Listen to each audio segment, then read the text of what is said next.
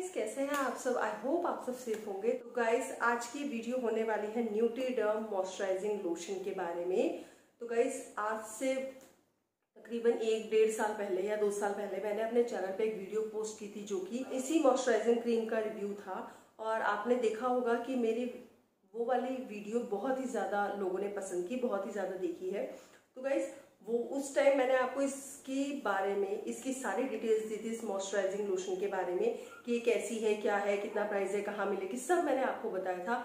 और ये नहीं कहूँगी कि मैंने यूज़ नहीं की थी, मैंने मुझे लग रहा है दस दिन, पंद्रह दिन यूज़ करके वो वाला रिव्यू किया था। बट उस वीडियो को एक से डेढ़ साल हो गए हैं तो मेरा फ़र्ज़ बनता है आपको बताना कि कि मैं ये अब तक यूज़ कर रही हूँ कि नहीं, या मैंने स्विच किया है कि नहीं, और ये कैसी है। इतने टाइम तक यूज़ करने के बाद मुझे ये कैसी लग रही है? क्योंकि गई इसका प्राइस आपको पता है, पहले जो मैंने वीडियो बनाई थी, उस टाइम पे इसका प्राइस था वन उस टाइम पे इसका प्राइस था एट फिफ्टी रुपीज़ बट आज की डेट में ये हो गई है एक हज़ार रुपये की और इस पर ज़्यादातर मैं देखती हूँ कि डिस्काउंट नहीं आता है, ये ऑन एम ही मिलती है।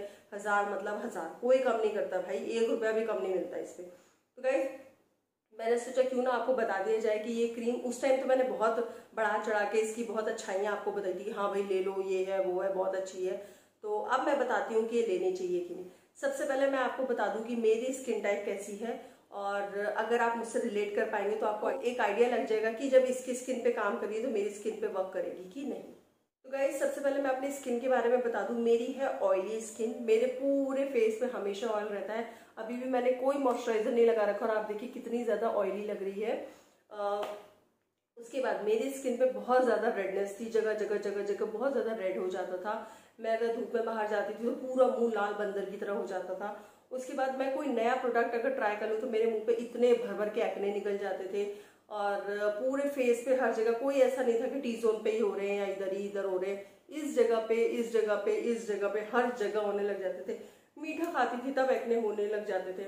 इतना ज़्यादा मैंने मेडिसिन भी ली, दवाइयाँ खाई डॉक्टर को दिखाया, मुझे कुछ फ़ायदा नहीं हुआ।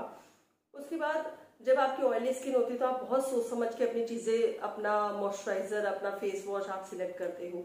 मैं भी ऐसी ही करती थी, जैसे जैसे मुझे कोई बताता था कि ये होम रेमेडी है, ये ये है, तुम ये चेक कर लो, ये कर लो तो मैं वो सब करती थी। मैं आपको सच बता रही हूँ, मैं वो सब करती थी कि भाई एक्ने वाली स्किन किसको अच्छी लगेगी? आप कहीं बाहर जाते हो तो बहुत शर्म आती है एक्ने में ना। वैसे ये शर्माने वाली बात नहीं है, फिर भी लड़कियों को थोड़ा कॉम्प्लेक्स हो जाता है कि भैया यहाँ पे दाने लगे हुए हैं। और आप हमेशा नोटिस करना, जब आपको कहीं जाना होता है ना, तब तो और ज़्यादा एक्ने आने लग जाते हैं। भले ही दो चार दिन आपके एक्ने सो रहे हो, पर उस दिन तो भैया इनको जागना ही होता है और आपके साथ ही पार्टी में जाना होता है। तो मेरे साथ भी ऐसा होता था मतलब मेरे जितनी बुरी स्किन तो मुझे नहीं लगता किसी और की होती होगी, इतनी बेकार स्किन थी। फिर जो एक्ने होते थे, उसके मार्क्स हो जाते थे जगह जगह पे, वो अलग से काले चमक रहे होते थे।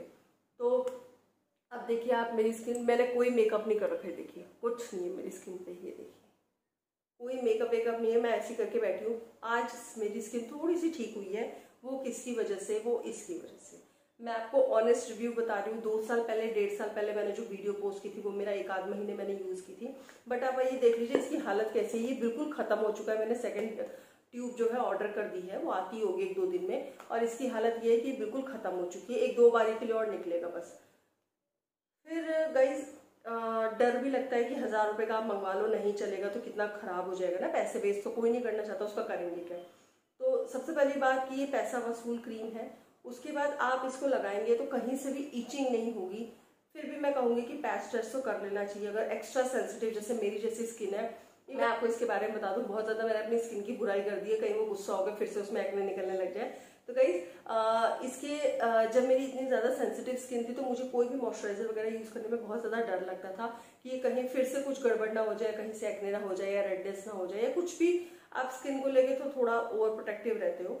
तो मैंने ये वाली क्रीम बहुत ज़्यादा तब मैं बहुत ज़्यादा इन्फ्लुएंसर्स को देखती थी तो वो उस टाइम बहुत ज़्यादा हाइप कर रहे थे इस क्रीम को। तो मैंने कहा मॉइस्चराइजिंग लोशन ज़रा मैं भी मंगा के देखूँ कैसा है, क्या पता मेरी स्किन को भी सूट कर जाए।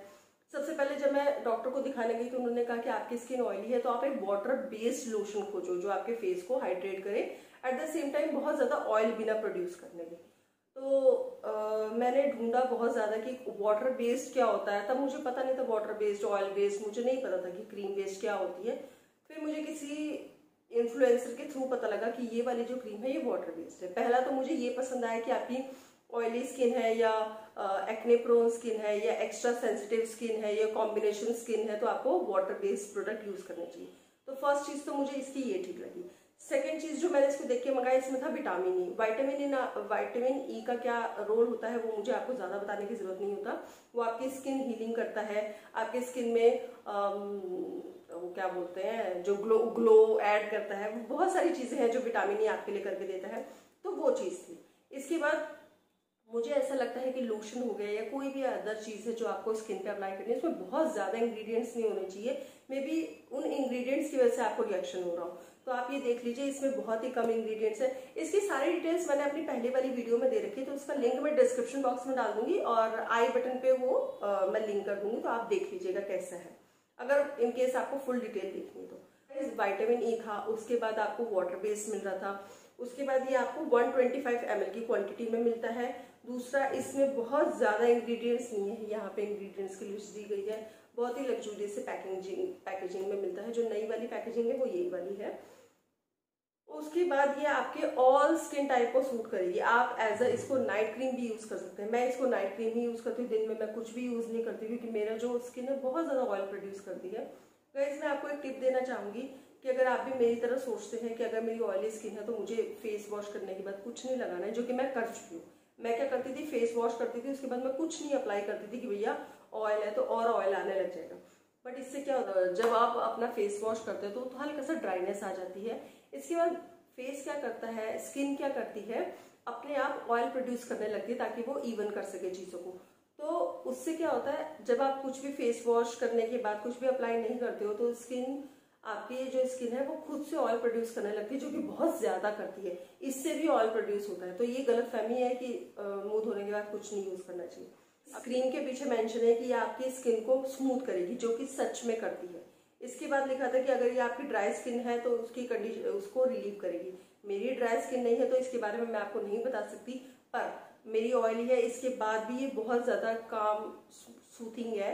आपको एक्ने वगैरह की प्रॉब्लम है, तब भी ये रिलैक्स करती है। बहुत ज़्यादा ईचिंग नहीं ईचिंग की बिल्कुल प्रॉब्लम नहीं आती। सनबर्न को ठीक करती है, जो कि सही बात है, मेरे यहाँ पे सनबर्न हो गया था, बहुत ब्लैकेज सा हो गया था, उसके बाद पपड़ी से निकल थी, उसको भी इसने हील किया है। स्किन को हाइड्रेटेड रखती है, जो कि हंड्रेड परसेंट ठीक बात है, ये स्किन को हाइड्रेट रखती है। एंटीऑक्सीडेंट है ये फिर आपके free radicals and healthy skin cells को ये एक्टिवेट्स करती है।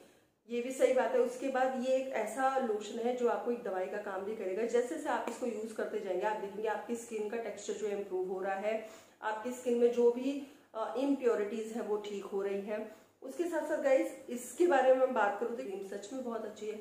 आप चाहे तो आप इसको ले सकते हैं। थोड़े से कॉस्टली कॉस्टली साइड पे हज़ार रुपए की है बट इसके अलावा अगर आप कोई अगर आप कोई मॉइस्चराइजिंग लोशन यूज़ कर रहे हैं जो आपको बहुत अच्छे से सूट कर रहा है तो मैं तो कहूँगी बार बार चेंज मत करिए। उसकी वजह से भी एक्ने वगैरह की प्रॉब्लम हो सकती है। इसके अलावा मैंने क्या किया, जिससे मेरी एक्ने कम हुई कि मैंने थोड़ा सा पानी वानी ज़्यादा पीने लगी और ऑयली फ़ूड थोड़ा सा कम खाने लगी हूँ। क्योंकि देखिए, ये लोशन जो है वो बाहर से काम करेगा। अंदर से आपकी बॉडी के लिए आपको लोशन की ज़रूरत है नहीं। आपको पानी पीना है, पानी ही आपका लोशन है भैया। जब पानी अंदर जाएगा तो इम्प्योरिटीज निकलती है, जिससे कि स्किन थोड़ी हेल्दी होती है। तो गाइज़ यही थी मेरी आज की वीडियो आई होप आपको ये वीडियो पसंद आई होगी। अगर ऐसी अच्छी अच्छी वीडियो देखना चाहते हैं तो प्लीज़ मेरे चैनल को सब्सक्राइब करना मत भूलिएगा। क्योंकि इस चैनल पे आपको बहुत अच्छी अच्छी वीडियोस देखने को मिलेगी। और गाइस मिलते हैं नेक्स्ट वीडियो में, तब तक के लिए